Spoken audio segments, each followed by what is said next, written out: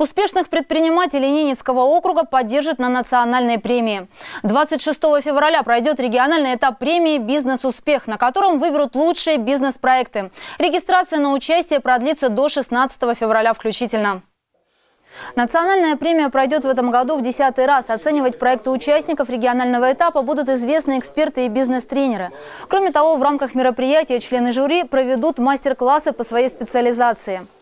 Премия «Бизнес-успех» – это федеральный проект, совместный проект э, «Опоры России», Агентства стратегических инициатив, Общественной палаты Российской Федерации при поддержке корпораций малого и среднего предпринимательства.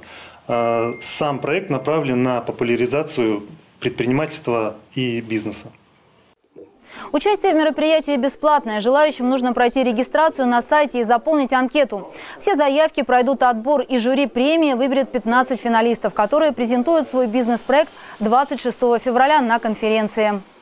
Победители по пяти номинациям, за исключением народного предпринимателя, будут э, представлять свой бизнес в Москве, но предварительно они как приз за э, победу в своей номинации получат акселерационную программу. Это программа, состоящая из пяти дней пребывания в Москве с посещением мастер-классов, посещением интересных мест, встреча с э, успешными предпринимателями и э, культурная программа.